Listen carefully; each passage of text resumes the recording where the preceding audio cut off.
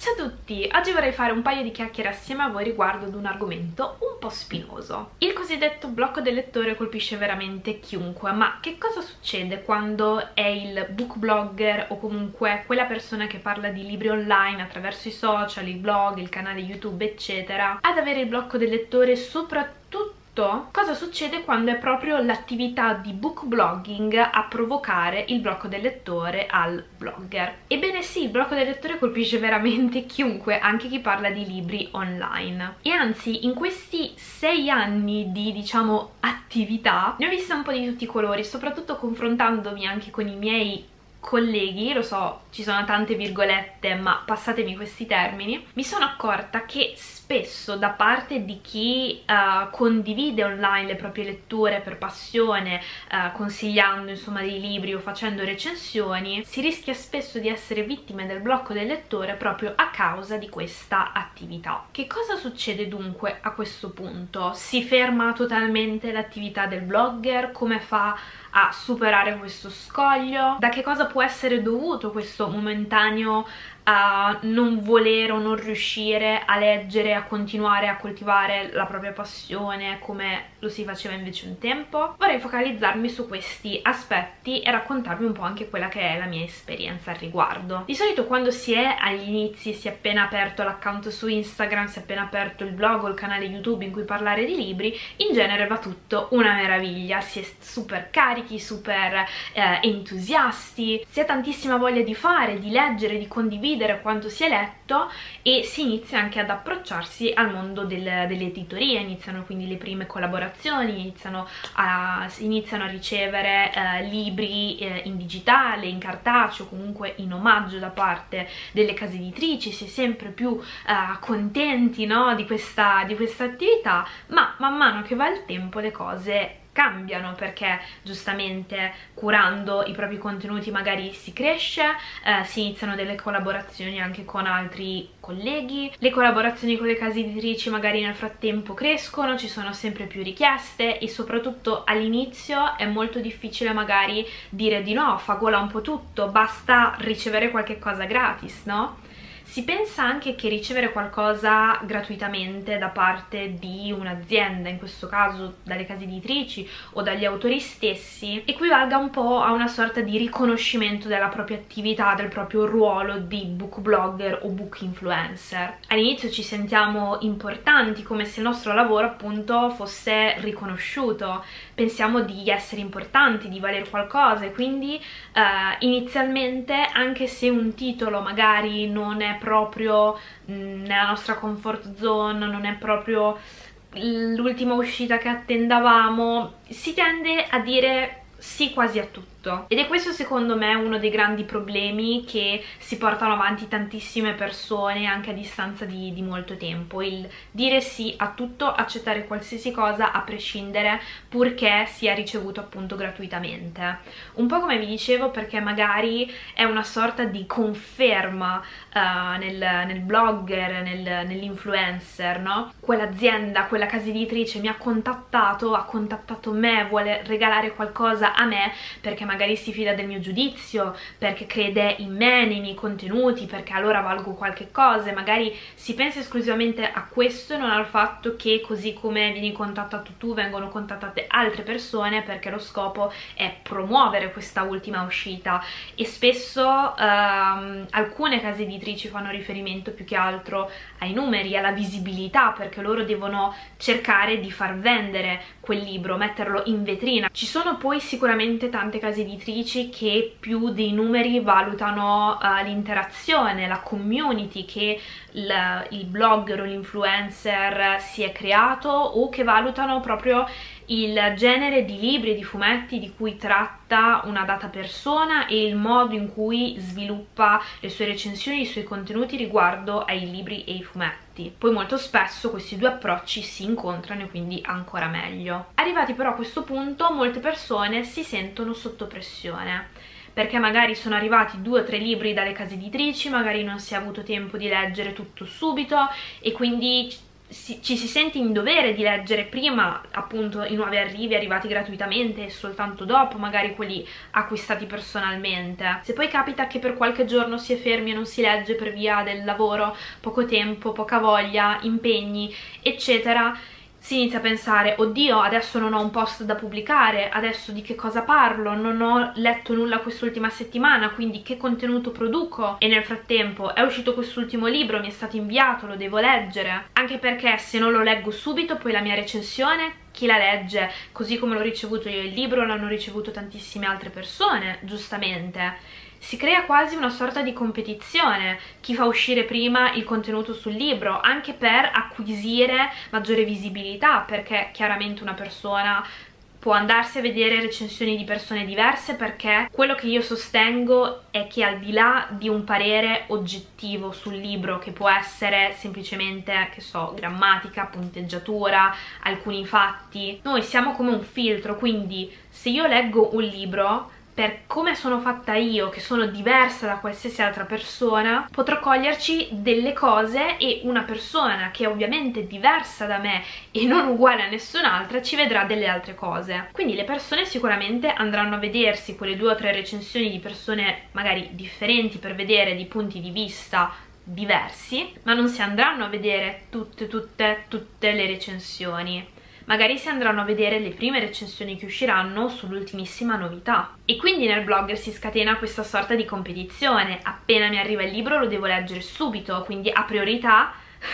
rispetto agli altri libri e fumetti che intanto si sono accumulati in casa, che magari non si è fatto in tempo a leggere perché la vita è imprevedibile, non si ha sempre tantissimo tempo e le cose da fare sono sempre di più. Si è sotto pressione quindi non solo perché si è ricevuto un libro gratis e ci si sente in obbligo di leggerlo subito, non solo ci si sente sotto pressione perché se non si legge subito qualche cosa e non si pubblica subito lo farà qualcun altro e avremo meno interazioni, meno visualizzazioni, meno successo tra virgolette non solo ci, ci, ci, si sente sotto pressione a leggere subito questo libro, perché se non si legge niente non si produce alcun contenuto e quindi il blogger va nel dimenticatoio. A che cosa porta tutta questa pressione secondo voi? Beh, nella stragrande maggioranza dei casi al blocco del lettore, al rifiuto di leggere, di voler cercare, di collaborare con le case editrici, di produrre magari contenuti inerenti a libri ricevuti magari anche gratuitamente, perché ci si sente in obbligo di leggere e quando uno si sente in obbligo di fare qualche cosa, molto spesso l'effetto che si ottiene è proprio quello di repulsione, di non voler fare assolutamente quella cosa. Un altro aspetto da tenere in considerazione è che spesso quando esce un nuovo libro, eh, in genere la casa editrice di punta lo manda a diversi blogger e attorno all'uscita di questo libro si crea tantissimo hype. Già magari da qualche giorno prima dell'uscita si iniziano a pubblicare foto, video, recensioni, qualsiasi tipo di contenuto per creare aspettativa nel lettore, per stuzzicarlo, per fargli venire voglia di leggere questo libro. Si crea quindi aspettativa. Spesso però la campagna diciamo che si, che si fa per creare aspettative e spingere il lettore a voler assolutamente comprare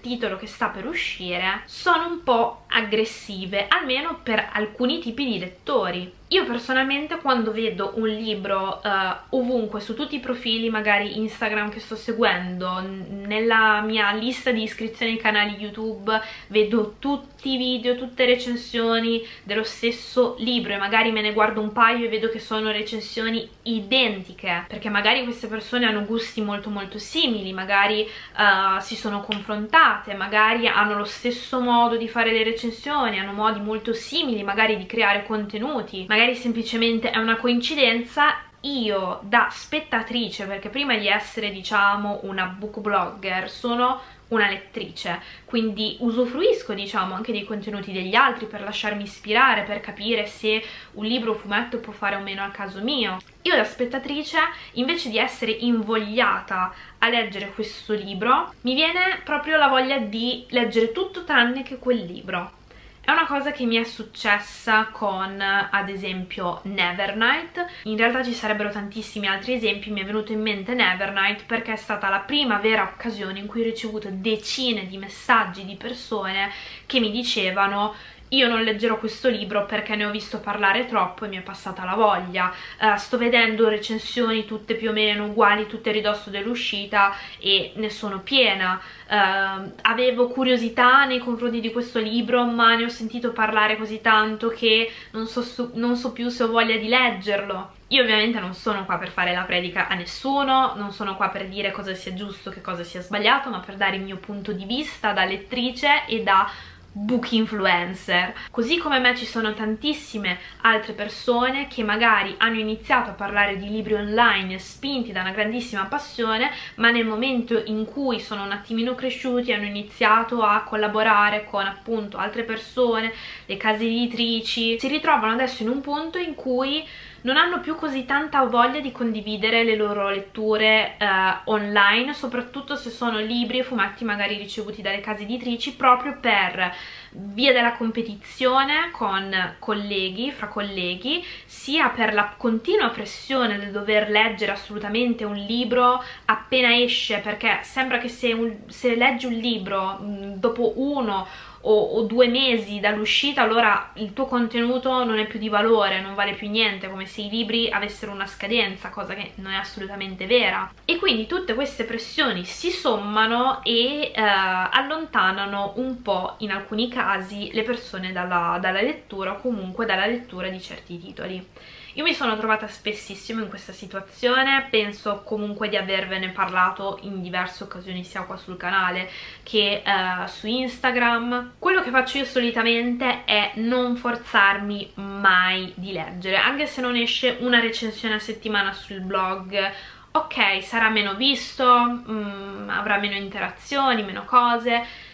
ma non è quella la questione più importante, bisogna ricordarsi perché si è iniziati a fare tutto questo. Perché ho iniziato a parlare di libri online? Sicuramente non per guadagnarci qualche cosa ma perché era la mia grande passione. Volevo trovare qualcuno con cui condividere quello che leggevo. E quindi non bisogna dimenticarsi mai le proprie origini diciamo. Può capitare con una settimana in un mese non si legge niente va benissimo. Oltretutto non è sempre necessario parlare esclusivamente delle ultime cose lette Nell'ultimo mese non avete letto nulla di nuovo? Scommetto che negli anni precedenti avete letto tantissime altre cose, magari c'è quel libro fumetto che vi ha colpito per un modo, in un modo o nell'altro, in maniera positiva o negativa, di cui potete magari parlare nuovamente. Oppure magari non ne avete mai parlato e potete ripescarlo, tanto come vi dicevo i libri non hanno una scadenza. Basta pensare ad Harry Potter, cioè quanti video, foto, post ci sono su Harry Potter. È proprio uno di quei classici intramontabili ma così ci sono tantissimi altri libri magari anche sconosciuti e anzi meglio meglio se parlate di un libro di cui magari non sta parlando nessuno al momento. Vi ricordo che pff, quando è stato? due o tre anni fa uh, dovevo andare a Cefalonia. Avevo prenotato una vacanza per, per Cefalonia e volevo leggere un libro a tema e ho fatto una ricerca libri su Cefalonia. Mi erano venuti fuori due titoli in particolare. Eh, uno proprio ambientato a Cefalonia l'altro invece era una sorta di saggio di Eva Cantarella L'amore è un dio. Ho cercato delle recensioni online e non ho trovato niente, niente a parte Goodreads, qualche, qualche piccola, uh, diciamo, mini review, ma ad esempio video o post, uh, ma anche su Instagram non c'era veramente nulla al riguardo. Quindi io sono andata molto a scatola chiusa il libro poi mi è piaciuto tantissimo e ho cercato veramente di consigliarvelo in ogni modo possibile perché mi sembrava una lettura veramente valida, anche se era una lettura diciamo non facile perché comunque si tratta di un saggio, uh, un saggio diciamo storico su un argomento che in realtà può andare di moda diciamo uh, nell'ultimo periodo, però non era qualcosa di punta, non era un'ultima uscita, non era un fantasy o un qualche cosa che richiamasse particolarmente l'attenzione, anche l'edizione. Eppure, dopo che ne ho parlato, tantissime, tantissime persone hanno incominciato a leggerlo e a consigliarlo a loro volta perché magari anche a loro era piaciuto. La stessa cosa è successa ad esempio con Solanin di Inyo Asano non sono stata sicuramente la prima a leggere Inyosano, non è questo che voglio dire, io lo so che molte persone si prendono a cuore e dicono ah però hai letto quella cosa perché io l'ho letta per prima, io l'ho consigliato e non mi hai citato, io non penso questo, nel senso che ci sono tantissimi libri che io magari ho letto anni e anni e anni fa e delle persone lo leggono adesso per la prima volta e lo consigliano e c'è gente che legge questi libri o questi fumetti perché consigliati appunto da persone che l'hanno detto adesso. Non è che io posso avere la pretesa di dire eh però l'ho letto prima io eh però è partito tutto da me, l'ho consigliato per primo io, non, non, ha alcun senso, non ha alcun senso, secondo me anche questo atteggiamento un po' snob da parte di alcuni book blogger o book influencer. Non fa molta community, soprattutto diciamo fra colleghi, non crea un, un, bel clima. Io capisco che non, non, si può stare simpatici a tutti, io sicuramente non sono la persona preferita di, di tantissime persone, però anche questo atteggiamento di dire io l'ho letto per primo, se tu l'hai letto è merito mio e, e questo e quest'altro non è un, un, atteggiamento secondo me Uh, che crea serenità. E ripeto io non ho questa presunzione nel dire uh,